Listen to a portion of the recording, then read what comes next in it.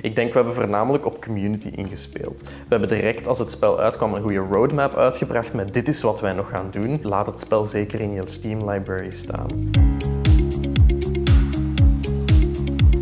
Sizable is een puzzel-exploratiespel, een beetje een rustgevend puzzel-exploratiespel, waarbij je alle objecten kan vergroten en verkleinen in een scène en zo tot oplossingen kan komen. Bijvoorbeeld de zon vergroten en verkleinen zorgt ervoor dat het seizoen verandert of de maan vergroten en verkleinen zorgt dat het water zakt of daalt, waardoor je een schatkist kan bijvoorbeeld.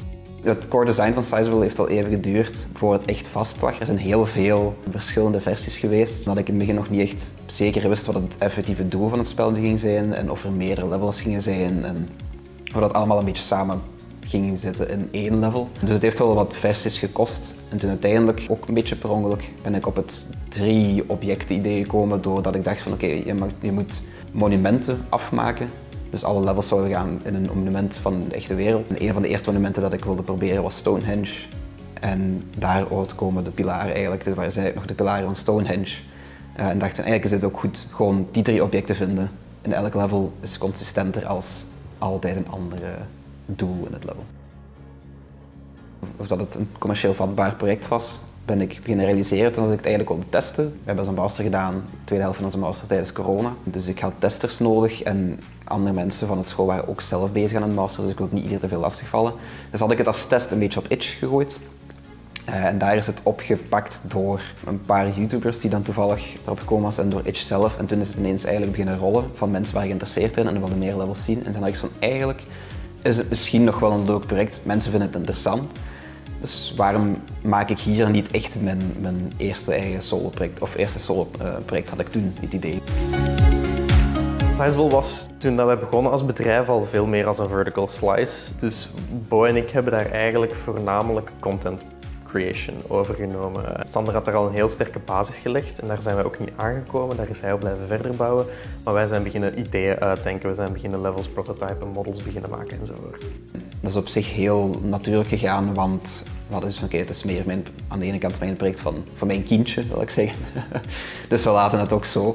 Uh, maar het was wel fijn om meer en sneller input te krijgen van iemand dan een Bo. En zij hadden ook heel goede ideeën en heel veel van hun ideeën zitten in de game. Heel veel van hun art zit in de game. Het is niet alleen mijn idee meer. We hebben het ook heel rap uitgebracht na dat we zijn opgestart, maar dan nog een hele hoop updates um, voor de community en ook samenwerking met de community en zo. We hadden geopteerd om Sizable als eerste uit te werken, omdat Sander uh, eigenlijk dat heel goed heeft aangepakt. Die heeft heel hard ingezet op itch.io en uh, Twitter en dergelijke. Dus op dat moment was er een kleine hype rond Sizable. Mensen waren enthousiast over het spel, mensen kenden het spel een beetje, waardoor dat wij zoiets hadden van oké, hier zit duidelijk heel veel potentieel in. We hebben wat beurzen gedaan met Sizable. Wel een beetje tot de conclusie gekomen dat dat misschien niet het beste is voor het spel puur. Dat is altijd wel leuk, maar dat is vermoeiend. Dat is veel werktijd dat je kwijtspeelt. En heel veel sales translate dan niet naar. We hebben voornamelijk op community ingespeeld. We hebben direct als het spel uitkwam een goede roadmap uitgebracht met dit is wat wij nog gaan doen. Laat het spel zeker in je Steam library staan. En dan ook de community bij die updates betrokken. Wedstrijden dat zij ideeën konden brengen, het thema van de volgende updates bepalen, zo van die zaken hun naam laten verschijnen in het spel en zo. En dat zijn allemaal wel zaken die daar die heel goed werken.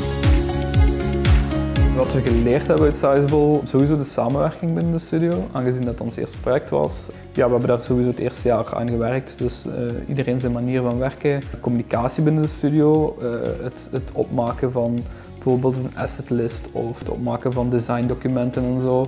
Dat dat wel handige tools zijn die je kunt gebruiken binnen de studio om eigenlijk helder naar elkaar toe te communiceren wat je precies wil en verwacht. Dat zijn nu zaken die wij standaard binnen ons B2B-werk ook doen. Ik denk sowieso naar marketing toe, dat we misschien Sizable nog iets beter hadden kunnen aanpakken. Ik zou niet direct weten hoe dat we het op dit moment beter zouden kunnen doen, maar ik denk wel naar ons volgende project toe, dat we daar misschien nog wel eens ergens iemand gaan moeten aanspreken die daar mee bezig is.